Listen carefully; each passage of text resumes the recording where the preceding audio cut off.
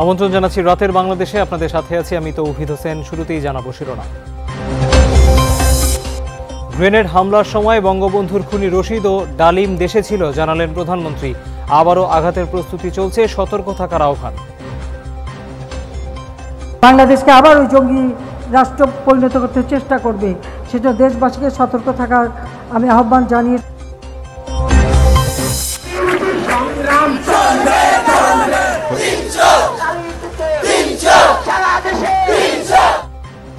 হবিগঞ্জ ও সিলেটে মহাসড়ক অবরোধ করে চা শ্রমিকদের বিক্ষোভ। দৈনিক মজুরি তিনশো টাকা করার দাবি।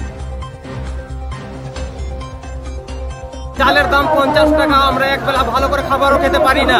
আমাদের অধিকার চাই সরকারের কাছে মালিকের কাছে। তিনশো টাকা মজুরি না হওয়া পর্যন্ত আমরা এই চা শ্রমিকরা রাজপথে আছি।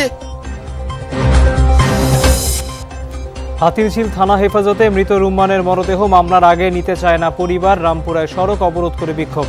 পুলিশের দাবি স্বজন না আসায় লাশ হস্তান্তরে দেরি হচ্ছে। উত্তরায় গার্ডার চাপায় নিহতের ঘটনায় দশ জনের বিরুদ্ধে হত্যা মামলা। নির্মাণ কাজে শতভাগ নিরাপত্তা নিশ্চিতের নির্দেশ মেয়র আতিকের। অর্থনৈতিক মন্দার ঝুঁকিতে বিশ্ব, দেশে মূল্যস্ফীতি নিয়ন্ত্রণ করা না গেলে বাড়বে মজুরি বৃদ্ধির চাপ ইআরএফ এর আলোচনায় বক্তারা। দুই মাস ধরে নিখোঁজ সিদ্ধেশ্বরী কলেজের শিক্ষার্থী ইয়াশা। কুল কিনারা করতে পারছে না ডিবি পরিবারে মাতম আমার মেয়েটা তো ছোট কেউ না ভাই। আমার মেয়ে জলজন্ত একটা মানুষ। এই মানুষটা তো হঠাৎ করে নাই হয়ে যেতে পারে না। এছাড়াও রাতের বাংলাদেশে থাকছে। বঙ্গোপসাগরের ট্রলার ডুবির ঘটনায় নিখোঁজ সাতাশ বাংলাদেশি জেলে ভারতে উদ্ধার। কক্সবাজারের নাজিরা টেক চ্যানেলে মিলল আরও তিন মরদেহ।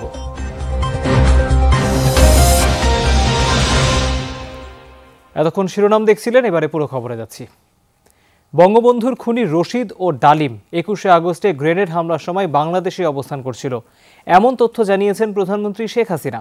হামলার পর বিএনপি সরকারের মদদে তারা দেশ ত্যাগ করে জানিয়েছেন তিনি।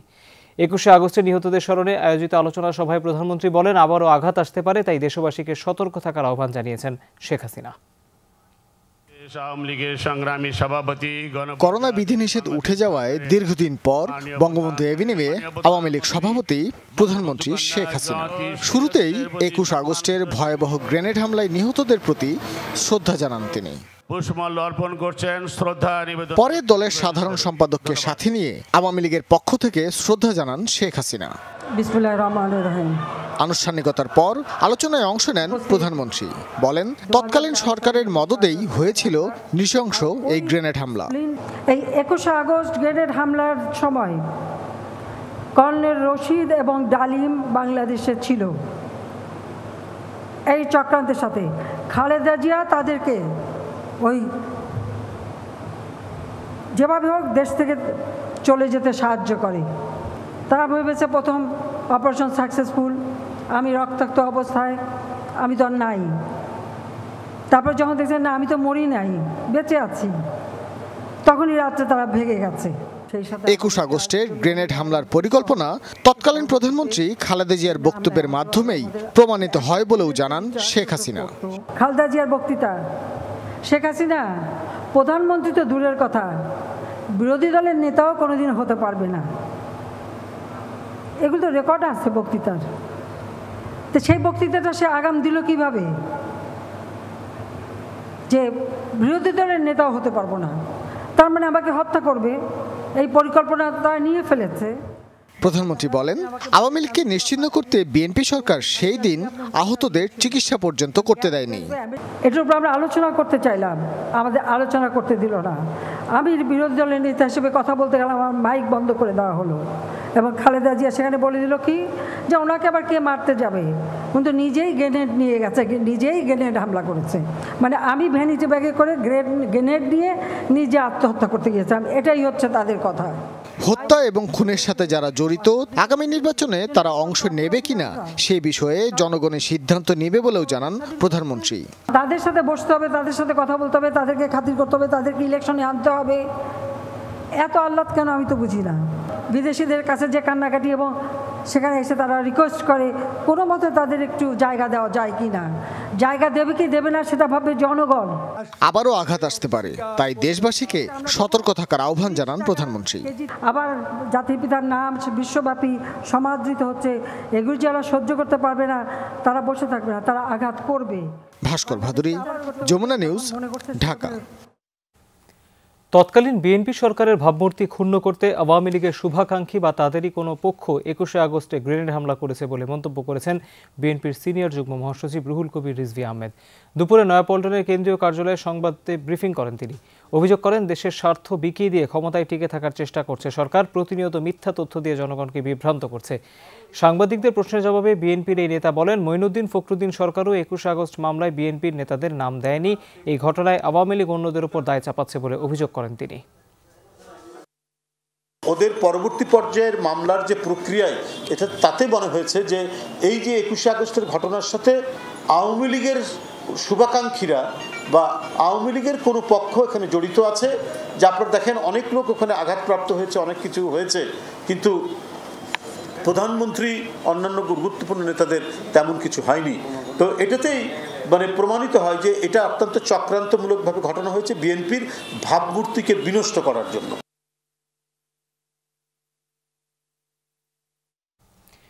পররাষ্ট্রমন্ত্রী ডক্টর আব্দুল মোমেন আওয়ামী লীগের কেন্দ্রীয় কমিটির কেউ নন, তিনি শুধু দলীয় সংসদ সদস্য। তাকে কোনো কথা বলার দায়িত্ব দেয়া হয়নি বলে জানিয়েছেন তথ্য ও সম্প্রচার মন্ত্রী ডক্টর হাসান মাহমুদ।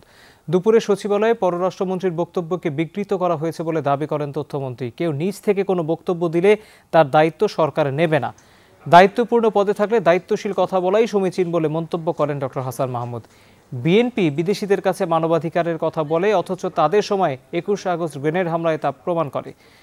বিএনপির দেয়া গুমের তালিকার ব্যক্তিরা কয়েকদিন পরপর নিজ বাড়ি থেকে, নিজ থেকে ফিরে আসে বলে মন্তব্য করেন হাসান মাহমুদ। যেহেতু কেন্দ্রীয় কমিটির কেউ নয়, উনি বাংলাদেশ আওয়ামী লীগের পক্ষে বিদেশে গিয়ে দায়িত্বপ্রাপ্ত কেউ তো নয়, সেটা সঠিক বলেছেন। তিনি আওয়ামী লীগ দলীয় সংসদ সদস্য, সেটি ঠিক আছে। কিন্তু যেহেতু উনি বাংলাদেশ আওয়ামী লীগের কেন্দ্রীয় কমিটির কেউ নয়, সুতরাং বাংলাদেশ আওয়ামী লীগের পক্ষে গিয়ে, বিদেশে গিয়ে কিছু বলা, সেই দায়িত্ব বাংলাদেশ আওয়ামী লীগ কাউকে দেয়নি। একশো পঁয়তাল্লিশ টাকা নয়, দৈনিক তিনশো টাকা মজুরির দাবিতে অনর চা শ্রমিকরা। বিক্ষোভ পথসভা সহ নানা কর্মসূচি পালন করেছে তারা। আন্দোলনকারীরা হবিগঞ্জ ও সিলেটে মহাসড়ক অবরোধ করে, নেতাদের বৈঠকে অংশ নেওয়া ও সিদ্ধান্তের নাটকীয়তায় ক্ষোভ জানিয়েছে পিছিয়ে থাকা এই জনগোষ্ঠীর মানুষ। বাজার দরের সাথে সামঞ্জস্য রেখে মজুরি নির্ধারণের দাবিতে আন্দোলন চালিয়ে যাওয়ার ঘোষণা তাদের। আপাতত তেইশ আগস্ট হাই প্রোফাইল বৈঠকের দিকে নজর সব পক্ষের।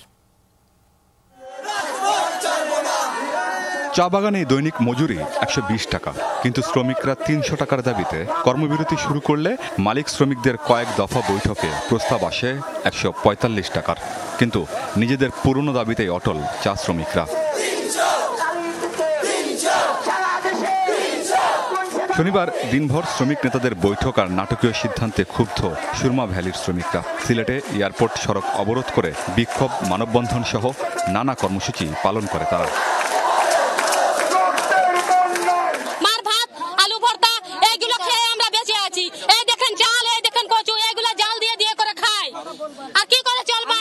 একশো পঁয়তাল্লিশ টাকায় কি বর্তমান বাজারে আমরা পাঁচজন পরিবারের লোক নিয়ে খেয়ে পরে বেঁচে থাকতে পারব?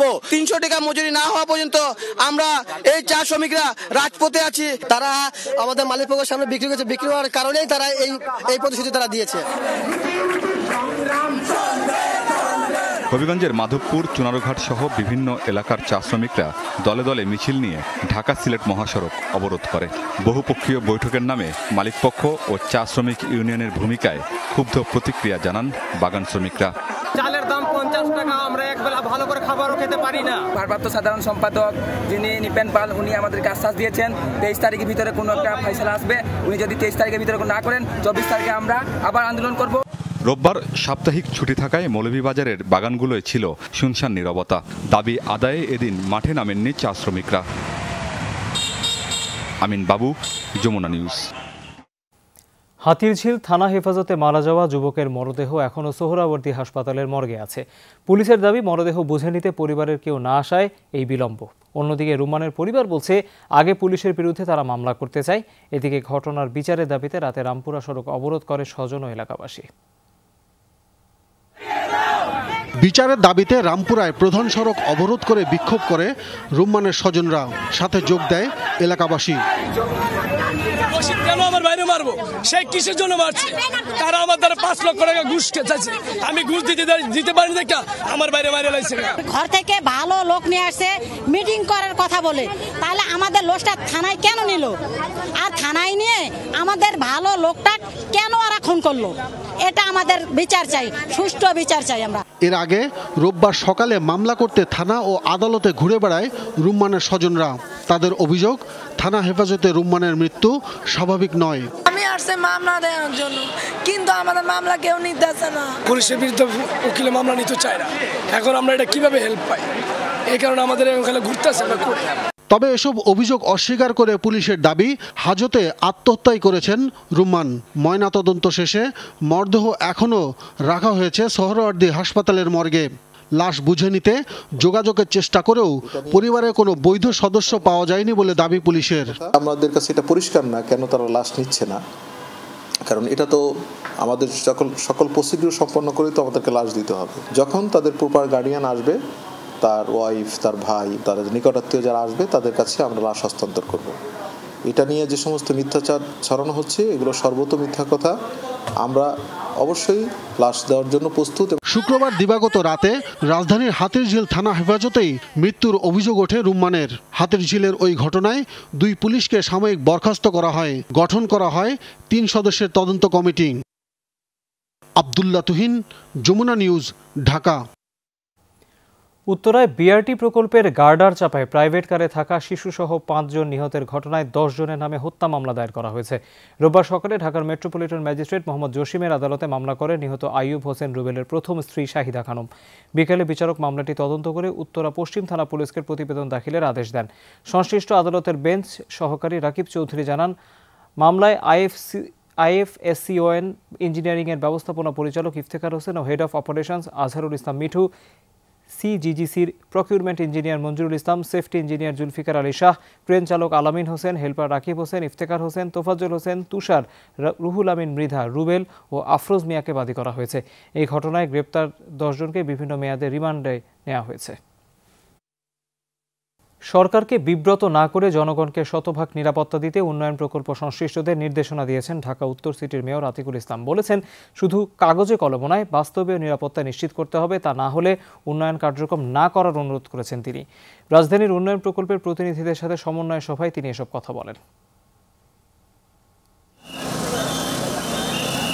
পনেরো আগস্ট শোকের দিনেই রাজধানীর উত্তরায় বিআরটি প্রকল্পের অবহেলায় প্রাণ যায় পাঁচজনের।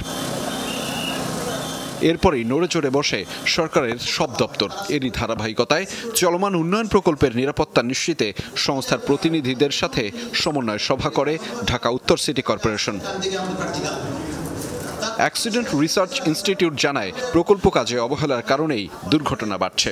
ঠিকাদারদের গাফিলতিও অন্যতম কারণ বলছে সড়ক ও জনপদ বিভাগ। সম্পর্কে জানি না। সো এই যে কতটা ইগনোরেন্ট আমরা মানে আমরা এডুকেটেড ইগনোর প্রাথমিকভাবে প্রমাণিত হয়েছে যে এটা ঠিকাদারের গাফলতির কারণে বিষয়টা ঘটেছে। দরকারে আমরা সরকারের মাধ্যমে চায়না সরকার এবং চায়না অ্যাম্বাসাডারকে আমরা ইনফর্ম করব। যে কোনো রকমের কোনো গাফিলতি হলে তার দায় দায়িত্ব ওই সংস্থাকে বহন করতে হবে। তবে অনিরাপদ প্রকল্প কর্মের দায়ভার কার? তা নিয়ে ওঠে নানা প্রশ্ন।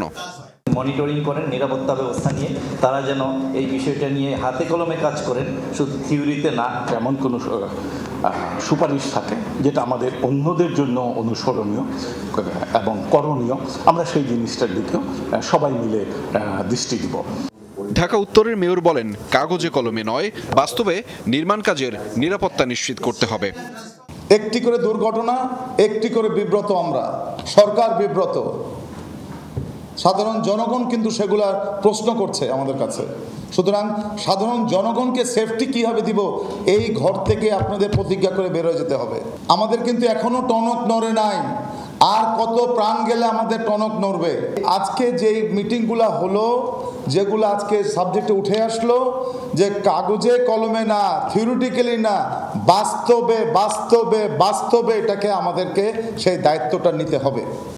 এছাড়া যন্ত্রচালকদের ডোপ টেস্ট করার পরামর্শ দিয়েছেন মেয়র আতিক। ইকুইপমেন্টস অপারেটর যেটা আছে তাদেরকে ইমিডিয়েটলি তাদের মানসিক টেস্ট করতে হবে। তাদেরকে ডোপ টেস্ট করতে হবে। আহমেদ রেজা যমুনা নিউজ ঢাকা। হলে আটকে রেখে তিন ঘণ্টা নির্যাতন এরপর বিশ হাজার টাকা কেড়ে নেয়া। রাজশাহী বিশ্ববিদ্যালয়ে এক ছাত্রলীগ নেতার বিরুদ্ধে ওঠা অভিযোগ তদন্ত করছে প্রশাসন যদিও কোনো সময় বেঁধে দেওয়া হয়নি প্রতিবেদন দাখিলের। ঘটনার প্রতিবাদে আন্দোলনকারীরা বলছেন, তদন্ত প্রতিবেদন আলোর মুখ না দেখার ধারাবাহিক অতীত অভিজ্ঞতা নতুন নতুন ঘটনাকে পথ করে দিচ্ছে। হলে আটকে তিন ঘণ্টার নির্যাতনের প্রতিবাদে রাজশাহী বিশ্ববিদ্যালয়ের প্যারিস রোডে আন্দোলনে নেমেছেন ভুক্তভোগী শিক্ষার্থী শামসুল ইসলামের সহপাঠী ও শিক্ষকরা। আন্দোলনকারীদের অভিযোগ ক্যাম্পাসে অতীতে যে কোনো ধরনের নির্যাতন কিংবা হামলার ঘটনায় একাধিকবার তদন্ত কমিটি হলেও তার প্রতিবেদন দেখে না আলোর মুখ। বিশ্ববিদ্যালয় প্রশাসন এক ধরনের তারা মানে দেখে না দেখার ভান করে মানে ধরি মানে ধরি মাছ না ছুঁই পানি এরকম অবস্থা। তারা জাস্ট লোক দেখানোর জন্য এরকম একটি তদন্ত কমিটি করে অনেক সময়। কিন্তু আমরা জানি বাংলাদেশের বাস্তবতা হলো তদন্ত কমিটি মানে ওই ঘটনাটাকে একেবারে আজীবনের জন্য ধামা চাপা দেয়া। শিক্ষার্থী ও ছাত্র নেতাদের অভিযোগ তদন্তের নামে হয় দায় মুক্তি। শাস্তি হয় না অভিযুক্তদের। পূর্বে যে ঘটনাগুলো ঘটেছিল তাদের বিচার কি হলো আমরা জানি না বা এর শাস্তিমূলক ব্যবস্থা মানে এখনও গঠন করা হয়েছে কিনা বা শাস্তি দেওয়া হয় কিনা তাও জানি না। যে কোনো একটা ঘটনার তদন্ত কমিটি পর্যন্ত না তদন্ত হোক এবং সেই তদন্তটার একটা রেজাল্ট আসুক শাস্তি হোক। তদন্ত কমিটিগুলোকে একটা দায়মুক্তি কমিটির রূপান্তরিত করেছে বিশ্ববিদ্যালয় প্রশাসন। সেই ট্রেডিশন থেকে তাদের বেরিয়ে আসা দরকার। চলতি মাসে ক্যাম্পাসে ছাত্রলীগের বিরুদ্ধে টাকা ছিনিয়ে নেওয়ার পাশাপাশি নির্যাতনের অভিযোগ উঠেছে তিনটি। এর আগেও এমন অভিযোগ রয়েছে একাধিক। এসব ঘটনার তদন্ত কমিটি হলেও তার কোনোটারই প্রতিবেদন প্রকাশ্যে আসেনি। মহারাজ বলে একজন ছাত্র আমাদের কাছে অভিযোগ দিয়েছে তার সেটাও কাজ চলছে। সেটাও একটা কমিটি করা হয়েছে। সেটা কাজ করছে। আর এর আগে যে যে মাদার বক্স হলের জিয়া রহমান হলের সামনে মনে হয় সেলিম বলে একটা অভিযোগ ছিল সে যেহেতু আমাদের ইউনিভার্সিটি কেউ এমপ্লয়ি না সে ব্যাপারটা আমি বলেছি মতিয়া থানায় সে মামলা করার জন্য। প্রশাসন অনেক ক্ষেত্রে ব্যবস্থা নেয় আমরা জানি। কিন্তু এই ব্যবস্থাগুলো তড়িৎ গতিতে হওয়া দরকার যেন এটা অন্যের জন্য দৃষ্টান্ত হতে পারে যে এরকম চাঁদাবাজি বা অন্যকে হুমকি দিলে। বিশ্ববিদ্যালয় প্রশাসন বলছে সুষ্ঠু তদন্ত ও প্রতিবেদনের তথ্য অনুযায়ী ব্যবস্থা গ্রহণে আরও বেশি উদ্যোগী হবে তারা। যারা দুর্ঘটনা ঘটায় তাদেরকে আমরা সন্ত্রাসী বলি। এ ধরনের তথ্য আমাদের কাছে আসলে আমরা তদন্ত কমিটি করে দিই এবং তদন্ত করতে যে যেটা হয় যে আমরা একটা টাইম ফ্রেম দিই কিন্তু তথ্য উপাত্য এবং স্বাক্ষর জন্য আরও কিছুদিন সময় লাগে। তা আমি আশা করি যে আমাদের সম্প্রতি সময় বেশ কিছু এরকম অভিযোগ আমরা পেয়েছি, সেই অভিযোগ নিয়ে আমরা কাজ করছি। গেল উনিশ আগস্ট মতিয়ার হলে ছাত্রলীগের সাধারণ সম্পাদক ভাস্কর শাহর বিরুদ্ধে রুমে ডেকে নির্যাতনের পর বিশ হাজার টাকা কেড়ে নেয়ার অভিযোগ তোলেন শিক্ষার্থী শামসুল ইসলাম। এ ঘটনায় তিন সহকারী প্রক্টর তদন্ত করছেন, যদিও প্রতিবেদন দেওয়ার নির্দিষ্ট সময় বেঁধে দেয়নি কর্তৃপক্ষ। ধ্রুব ইকরামুল যমুনা নিউজ। সিরাজগঞ্জে খেলার মাঠে আশ্রয়ন প্রকল্প বাস্তবায়নে ভূমি পরিদর্শনের সময় ইউএনও এবং এসি ল্যান্ডের ওপর হামলার অভিযোগ উঠেছে গ্রামবাসীর বিরুদ্ধে। এতে গুরুতর আহত হয়েছেন এসি ল্যান্ড লিয়াকত সালমান। সকালে শাহজাদপুরে এই ঘটনা ঘটে। উপজেলা নির্বাহী কর্মকর্তা জানান, প্রধানমন্ত্রীর বিশেষ বরাদ্দের আশ্রয়ন প্রকল্প নির্মাণের লক্ষ্যে সহকারী কমিশনার লিয়াকত সালমানকে নিয়ে তিনি শাহজাদপুর পরিদর্শনে যান। এ সময় স্থানীয়রা তাদের পথ রোধ করে, এক পর্যায়ে ইট, পাটকেল, লাঠি দিয়ে অতর্কিত হামলা চালায় গাড়িতে। এতে মাথায় গুরুতর আঘাত পান এসিলেন দ্রুত তাকে উপজেলা স্বাস্থ্য কমপ্লেক্সে নেওয়া হয়, পরে উন্নত চিকিৎসার জন্য সদর হাসপাতালে নেওয়া হয়। এলাকার খেলার মাঠে আশ্রয়ন প্রকল্প হতে দিতে চায় না শাহজাদপুরের মানুষ। রমনা থানার ওসি মনিরুল ইসলামের সম্পদের বিষয়ে তিন মাসের মধ্যে দুদকে অনুসন্ধান শেষ করার আদেশ দিয়েছেন হাইকোর্ট। বিচারপতি নজরুল ইসলাম তালুকদার ও বিচারপতি খিজির হায়াতের দ্বৈত বেঞ্চ এই নির্দেশনা দেন। অনুসন্ধান চলাকালে রমনা থানার ওসিকে দায়িত্ব থেকে অব্যাহতি দিতে হবে বলে জানিয়েছেন রিটকারী আইনজীবী, তবে হাইকোর্ট বলেছেন, দুদক স্বাধীন প্রতিষ্ঠান, তাদের অনুসন্ধানে কোনো সমস্যা হবে না। সেই সাথে অনুসন্ধান চলাকালে দুদককে সহযোগিতা করতে ওসি মনিরুলকে নির্দেশ দেন হাইকোর্ট। সম্প্রতি রমনা থানার ওসির বিরুদ্ধে বিপুল সম্পদের অভিযোগের বিষয়টি নজরে আনা হলে রিট আকারে আনার কথা বলেছিলেন হাইকোর্ট। ব্যারিস্টার সুমন হাইকোর্টকে বলেন, সরকারি এজেন্সির তথ্য মতে ওসি মনিরুল ইসলামের অজ্ঞাতনামা বিপুল সম্পদ রয়েছে। তার বিরুদ্ধে ইনকোয়ারি করার সিদ্ধান্ত নিয়েছেন। আমরা আর কোনো রুল ইস্যু করলাম না। আমরা যে কাজটি করতেছি, আমরা একটি ডাইরেকশন দিয়ে দিচ্ছি ডিসপোজাল করে দিচ্ছি। এটা থেকে আগামী তিন মাসের মধ্যে রুলস রেগুলেশনের ভিতরে যেন এই ইনকোয়ারিটি সম্পন্ন করা হয়। দুই মাস ধরে নিখোঁজ মেয়ে, রাত দিন কান্না, এখন মায়ের সঙ্গী। পরীক্ষা দিতে গিয়ে আর ফেরেনি ইয়াশা মৃধা সুকন্যা। রাজধানীর সিদ্ধেশ্বরী গার্লস কলেজের এই শিক্ষার্থী বন্ধুর সাথে দিনভর ঘোরাঘুরি করলেও রাতে আর বাসায় ফেরেনি। তদন্ত সংস্থা ডিবিও মামলার কোনো কুল কিনারা করতে পারেনি। বিস্তারিত মনিরুল ইসলামের রিপোর্টে। গৃহিণী নাজমার দিন যাচ্ছে কাঁদতে কাঁদতে। একটি দুটি দিন নয়, দুই মাস ধরে কাঁদছেন তিনি। ঘটনা তেইশ জুনের। মায়ের সাথে সিদ্ধেশ্বরী কলেজের পরীক্ষা দিতে যান মেয়ে ইয়াশা। পরীক্ষা শেষে সব শিক্ষার্থী ফেরত আসলেও আসেননি ইয়াশা। কলেজ কর্তৃপক্ষ জানায়, ইয়াশা পরীক্ষা দেয়নি। এরপর রমনা থানায় জিডি করেন মা। প্রাথমিক তদন্তে দেখা যায়, পরীক্ষা না দিয়ে ওই দিন প্রেমিকের সাথে ঘুরতে যান ওই শিক্ষার্থী। সিসিটিভির ফুটেজে দেখা যায়, সন্ধ্যা পর্যন্ত ইয়াশা তার প্রেমিক ইশতিয়াক আহমেদ চিস্তির সাথে ছিলেন। রাত আটটায় ইয়াশা ও চিস্তি গ্যান্ডেরিয়া থেকে আলাদা রিক্সা নেন, বাসার দিকে রওনা হন। কিন্তু আর বাসায় ফেরেননি ইয়াশা। তদন্ত করে দেখা যায়, ওই দিন সন্ধ্যা পর্যন্ত ইয়াশা তার প্রেমিক ইশতিয়াক ও তার বন্ধু সালমানের সাথে ছিলেন। এই দুইজনের বিরুদ্ধে অপহরণের মামলা করেন মা নাজমা। মামলায় সালমানের জামিন হয়ে গেছে কারাগারে চিস্তি লাস্ট টাইম তো আমি ওর সাথেই দেখছি। এই ইস্তিয়াকের সাথেই আমি ওকে ওকে দেখছি এবং লাস্ট টাইম সিসিটিভি ফুটেজ বলেন চ্যাটিং বলেন সমস্ত মানে সব কিছু ওর দিকেই তো যাচ্ছে। এখন আমার আর সন্দেহ করার মতো কেউ নাই। ইয়াশার বাবা লন্ডনে থাকেন। কাগজপত্রের ঝামেলার কারণে বহু বছর দেশে আসতে পারেন না। তাই মেয়েকে একাই বড় করেছেন মা। আমার বুকটা ছিঁড়ে যায় চারিদিকে যেখানে যায় শুধু আমার মেয়ে। আমি মোবাইলের গ্যালারিতে ঢুকতে পারি না শুধু ও ছাড়া কেউ নাই। ওর ছবির দিকে তাকাতে পারি না। আমার মেয়েটা তো ছোট, কেউ না ভাই। এখন কি অবস্থায় আছে, কোন অবস্থায় আছে আমি জানি না। কার কাছে আছে আমি তাও জানি না। আমার আমার জোরদার চাওয়া একটাই, শুধু মেয়েটারে ফিরা দেখ আমি কিছু চাই না। আদালতের নির্দেশে অপহরণের মামলা এখন ডিবি পুলিশের কাছে। পরিবারের অভিযোগ, তদন্তে কোনো অগ্রগতি হয়নি এখনও। প্রশাসন চাইলে সব কিছু সম্ভব, কারণ সে ক্ষমতা আছে তাদের কাছে, ঠিক আছে? তো সেই জায়গায় আজকে দুই মাসে যেহেতু আমাদের ভাগ্নি, আমাদের মেয়েটা উদ্ধার হয়নি, ঠিক আছে? সেখানে আমাদের আর কিছু বলার অপেক্ষা রাখে না যে আসলে কতটুকু আমরা সহযোগিতা পেয়েছি।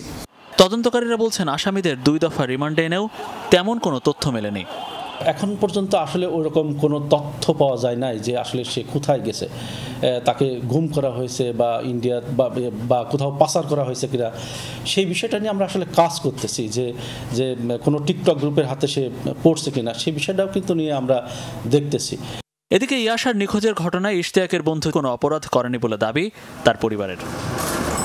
মনিরুল ইসলাম, যমুনা নিউজ, ঢাকা। অপরাধীদের আস্তানা হিসেবে পরিচিত জঙ্গল সলিমপুরে সারাশি অভিযান, উচ্ছেদ অভিযানের পর সরজমিন পরিদর্শন করেছেন প্রশাসনের শীর্ষ কর্মকর্তারা। বিকেলে স্থানীয় সংসদ সদস্য, জেলা প্রশাসক, DIG, police commissioner, police super, RAB অধিনায়ক সহ সংশ্লিষ্টরা সলিমপুর জঙ্গলে যান। পাহাড়ের পর পাহাড় কেটে সাবার করে পরিবেশ ধ্বংস করার চিত্র দেখে তারা ক্ষোভ প্রকাশ করেন। জানান, জঙ্গল সলিমপুরে কোনো ধরনের অবৈধ স্থাপনা থাকবে না, সব স্থাপনা উচ্ছেদ করে সরকারের পরিকল্পনা বাস্তবায়ন করা হবে।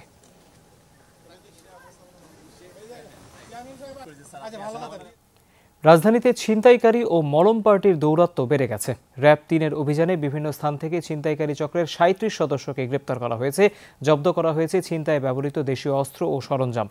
এদিকে সরকারি কর্মচারী কল্যাণ বোর্ডের বড় কর্মকর্তা পরিচয়ে অর্থ আত্মসাত চক্রের হোতা ইসমাইল মাতব্বর সহ দুই সদস্যকে গ্রেপ্তার করেছে সিআইটি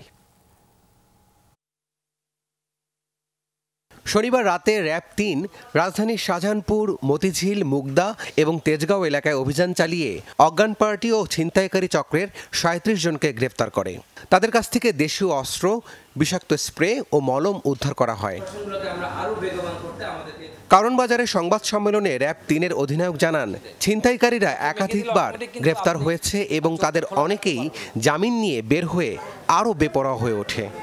একটা স্কুল ছাত্র যদি একটা কলেজ ছাত্র যে মাদকাসক্ত হয়ে পড়ছে সো তাকে তো যখন সে এডিক্টেড হয়ে যাচ্ছে, তখন তো তার মাদকের টাকাটা লাগবে। তো মাদকের টাকার জন্যই বেসিক্যালি তারা এই সমস্ত ছিনতাইকারীগুলো করছে। আইনের ফাঁক ফুকুরে কিন্তু তারা বেরিয়ে চলে আসছে। বেশি দিন তারা থাকছে না। তাদেরই ফ্যামিলি তাদেরই পরিচিত জন বা তাদেরই বন্ধুবান্ধব যাদের সাথে সে আড্ডা মারে, যাদের সাথে সে নেশা করে, তারাই কিন্তু তাকে আবার জামিনে বের করে আনছে। এদিকে সরকারি কর্মচারী কল্যাণ বোর্ডের বড় কর্মকর্তা পরিচয়ে অর্থ আত্মসাৎ চক্রের হোতা ইসমাইল মাতব্বর সহ দুইজনকে মাদারীপুর থেকে গ্রেপ্তার করে সিআইডি। এখন এটা আমাদের কাছে যেটা একেবারে নতুন যেটা হলো, যেটা কর্মচারী কল্যাণ বোর্ডের যারা ভুক্তভোগী, সব কিন্তু সরকারি অফিসিয়াল। এবং এমনও আমরা অভিযোগ পেয়েছি, একদম হাই অফিসিয়াল। র্যাঙ্কিংয়ে অনেক হাই।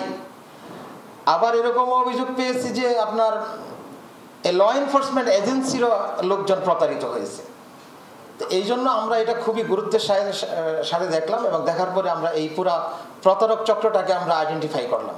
ফরিদপুরের ভাঙা ও মাদারীপুরের শিবচরে মোবাইল ব্যাংকিং প্রতারক চক্র এখনও সক্রিয় বলে জানায় সিআইডি আপনার ফরিদপুরের রাবি সিদ্দিকি যমুনা নিউজ ঢাকা।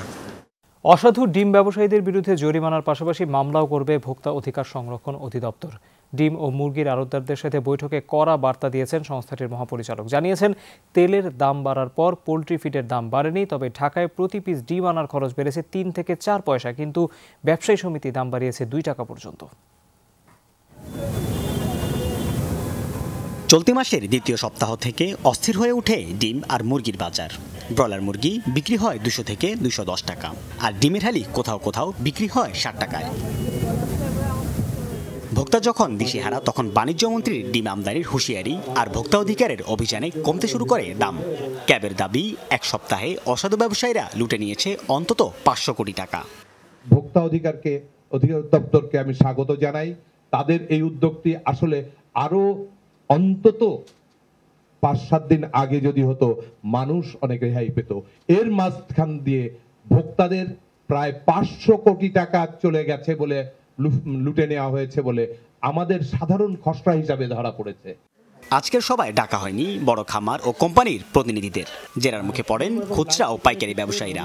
ভোক্তা অধিকারের মহাপরিচালক বলেন অসাধু ব্যবসায়ীদের বিরুদ্ধে মামলাও করা হবে।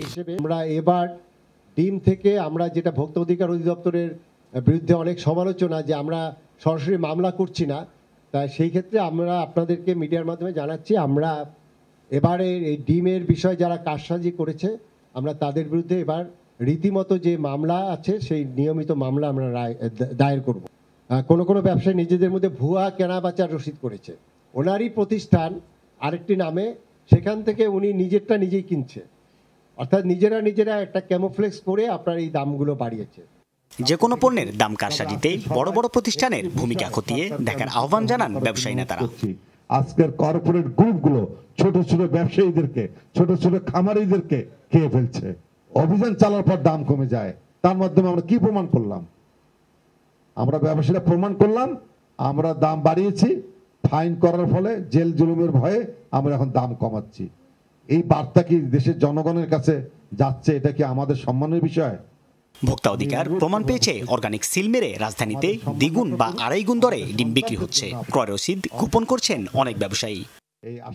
সাইফুল ইসলাম, যমুনা নিউজ, ঢাকা।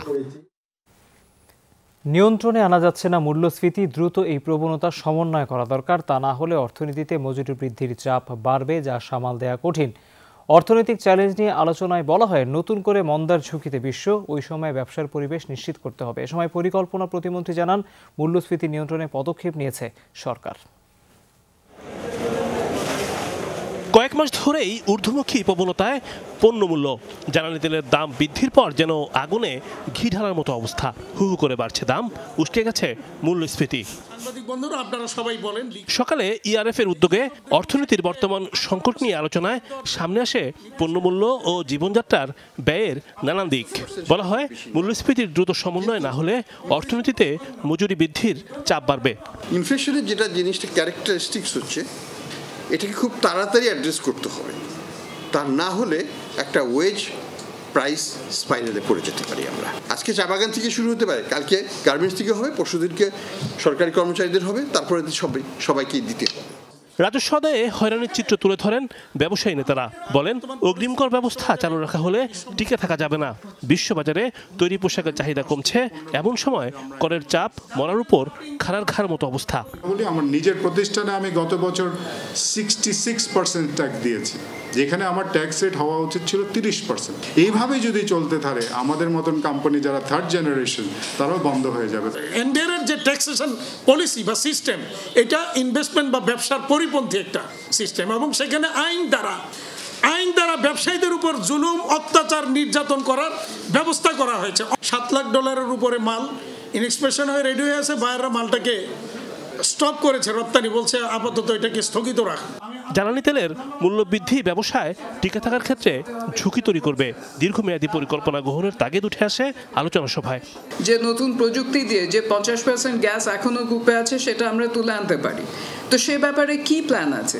আমাদেরকে জানানো হোক। তবে মূল্যস্ফীতি বৃদ্ধির আশঙ্কা উড়িয়ে দিয়েছেন পরিকল্পনা প্রতিমন্ত্রী। বলেন বিশ্ববাজারে দাম কমলে জ্বালানি তেলের দাম সমন্বয় হবে। সম্পূর্ণটাই কিন্তু আমদানিজাত মূল্যস্ফীতি। হ্যাঁ একটু বেশি থাকবে অক্টোবর পর্যন্ত তার কারণে এই সময়টাতে মূল্যস্ফীতির যে চক্র বাংলাদেশে সবসময় জুলাই থেকে অক্টোবর এই সময়তে বেশি থাকে। প্রতিমন্ত্রী মনে করেন বর্তমান সংকটের কারণে পিছিয়ে যেতে পারে দারিদ্র নির্মূলের লক্ষ্য অর্জন। এই অর্থনীতিবিদের আশঙ্কাকে আমরা খুব একটা কি বলব গুরুতরভাবে নেই না। রিমন রহমান যমুনা নিউজ ঢাকা।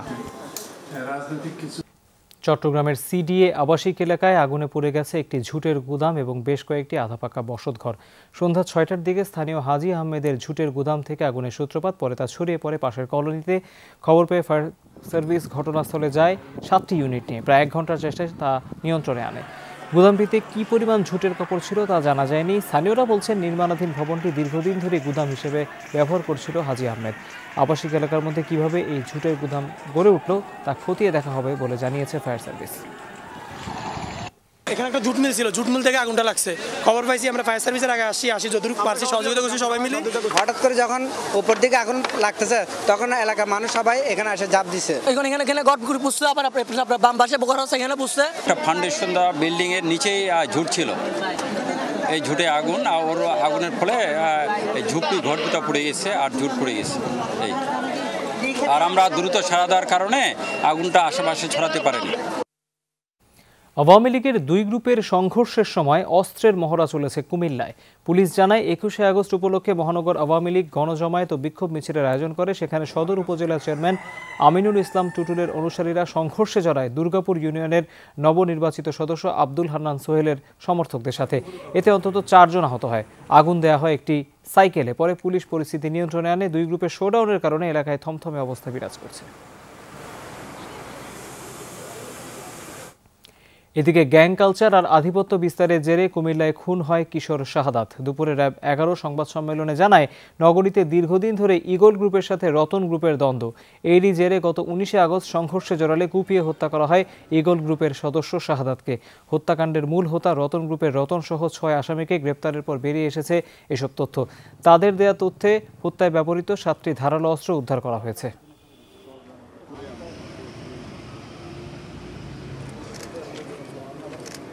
কক্সবাজারের সোনাদিয়া দ্বীপের কাছে নাজিরা টেক চ্যানেলে ট্রলার ডুবির ঘটনায় আরও তিন জেলের মরদেহ উদ্ধার করেছে কোস্টগার্ড সকাল সোয়া এগারোটার দিকে মহেশখালী চ্যানেলের মোহনা থেকে তিনজনের মরদেহ ভাসতে দেখেন জেলেরা। পরে কোস্টগার্ডের সহায়তায় সেগুলো উদ্ধার করে স্বজনদের কাছে পৌঁছে দেওয়া হয়। নিহতরা হলেন হোসেন আহমেদ, আজিজুল হক ও মোহাম্মদ আফসার। ট্রলার ডুবির ঘটনা এখন পর্যন্ত পাঁচজন জেলের মরদেহ উদ্ধার হয়েছে। সবার বাড়ি খুরুশকুলে। বৈরী আবহাওয়ায় শুক্রবার নাজিরা টেক চ্যানেলে ডুবে যায় এফবি মায়ের দেওয়া উনিশ জনের মধ্যে এগারো জনকে জীবিত উদ্ধার করা হয়। এখনও নিখোঁজ তিন জেলে। বাদারে বাদারে তুয়াইয়ে বাদারে হনিকা না ভা বাদারে না খাই লাস্টে আজিয়া দিনে খাই পাঁচজন মারা গিয়ে আর তেরো জন জীবিত এগারো জন জীবিত পাওয়া আর তিনজন এখনও নিখোঁজ। বঙ্গোপসাগরে ট্রলার ডুবির ঘটনায় আরও সাতাশ বাংলাদেশি জেলেকে ভারতে উদ্ধার করা হয়েছে।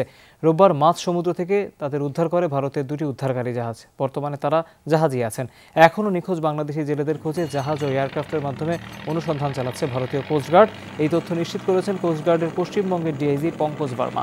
উদ্ধারকৃত জেলেদের স্থানীয় প্রশাসনের মাধ্যমে বাংলাদেশে পাঠানো হবে। প্রতিকূল আবহাওয়ায় ঝড়ের কবলে পড়ে ট্রলার ডুবে গেলে জেলেরা ভাসতে ভাসতে ভারতের জলসীমায় চলে যায়। এর আগে শনিবার এগারো বাংলাদেশি জেলেকে উদ্ধার করে ভারতে। স্বাস্থ্য অধিদপ্তরের অতিরিক্ত মহাপরিচালক অধ্যাপক মির্জাদি সেব্রিনা ফ্লোরাকে সিঙ্গাপুরের একটি হাসপাতালের আইসিইউতে ভর্তি করা হয়েছে। রোববার পরিবারের পক্ষ থেকে এই তথ্য জানানো হয়। স্বজনরা জানান, লিভারের পরীক্ষা করতে গিয়ে জটিলতা দেখা দেয়, তাকে আইসিইউতে ভর্তি করা হয়েছে। এখনও তিনি বিপদমুক্ত নন। গত কয়েকদিন ধরেই গুরুতর অসুস্থ ছিলেন তিনি, তাই উন্নত চিকিৎসার জন্য সিঙ্গাপুরে নেওয়া হয়েছে। মির্জাদি সেব্রিনা ফ্লোরা আই আইইডিসিআর এর পরিচালকও ছিলেন। তার এই লিভার এবং গলব্লাডারের ওই সমস্যা পরীক্ষা করতে গিয়েই ইয়েটা হয়েছে। ইমপ্রুভ করে আবার আইসিএস থেকে বের না করলে তো বলা যাবে না বিপদমুক্ত বরিশালে ছাত্রলীগের দুই গ্রুপের মধ্যে সংঘর্ষের ঘটনা ঘটেছে। জাতীয় শোক দিবস ও একুশে আগস্ট গ্রেনেড হামলায় নিহতদের স্মরণে মোনাজাতের আয়োজন করা হয় বিকেলে। অনুষ্ঠানের আয়োজন করে একুশ নম্বর ওয়ার্ড আওয়ামী লীগ। সভা চলাকালে সামনে দাঁড়ানোকে কেন্দ্র করে ওয়ার্ড ছাত্রলীগের দুই গ্রুপ বিরোধে জড়ায়। সন্ধ্যায় আলোচনা ও দোয়া শেষে সিটি মেয়র ও মহানগর আওয়ামী লীগের সভাপতি সেরনিয়াবাদ সাদিক আবদুল্লাহ সহ অন্যান্য নেতারা সভাস্থল ত্যাগ করেন। এর কিছুক্ষণ পরই সংঘর্ষে জড়ায় একুশ নম্বর ওয়ার্ড ছাত্রলীগের দুই গ্রুপ। ভয়াবহ দুর্যোগের কবলে ভারত। চার রাজ্য ও এক কেন্দ্রশাসিত অঞ্চল বন্যা, ভূমিধস ও বজ্রপাতে একই দিনে মৃত্যু হয়েছে কমপক্ষে চল্লিশ জনের। বিপর্যস্ত হিমাচল প্রদেশ, উত্তরাখণ্ড, উড়িষ্যা, ঝাড়খণ্ড ও জম্মু কাশ্মীর। শুধু হিমাচল প্রদেশেই প্রাণ হারিয়েছেন বাইশ জন, নিখোঁজ আরও পাঁচজন ডুবে গেছে রাজ্যটির প্রায় সাড়ে সাতশো সড়ক। গাড়ি চলাচল বন্ধ করে দেওয়া হয়েছে মানালি, চণ্ডীগড় ও সিমলা, চণ্ডীগড় হাইওয়েতে। সবচেয়ে ক্ষতিগ্রস্ত মান্দি ও কাঙ্গোরা জেলা। উত্তরাখণ্ড ও ঝাড়খণ্ডে চারজন করে বাসিন্দা মারা গেছেন। ওড়িশায় ছয় এবং জম্মু কাশ্মীরে দুই শিশুর মৃত্যু হয়েছে।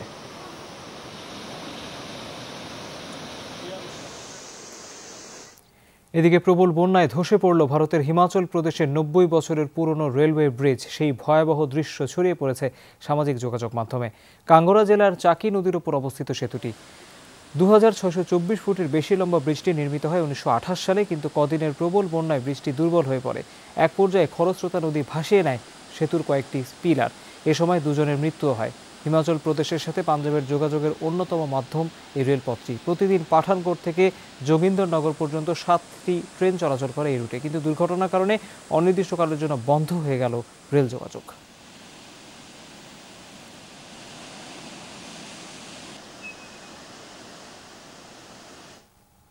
কম্বোডিয়া আর নেপালের বিপক্ষে দুটি ম্যাচের জন্য সাতাশ সদস্যের সদস্যের স্কোয়াড চূড়ান্ত করেছে কোচ হ্যাভিয়ার ক্যাব্রেরা এখন টিম ম্যানেজমেন্টের ঘোষণার অপেক্ষা, যেখানে বেশ কিছু নতুন মুখের আভাস দিয়েছেন ক্যাব্রেরা দুটি ম্যাচই হবে ভিন্ন কন্ডিশনে তাই দুই প্রতিপক্ষের জন্য আলাদা পরিকল্পনা নিয়ে মাঠে নামতে চান জামাল জিকোদের এই স্প্যানিশ কোচ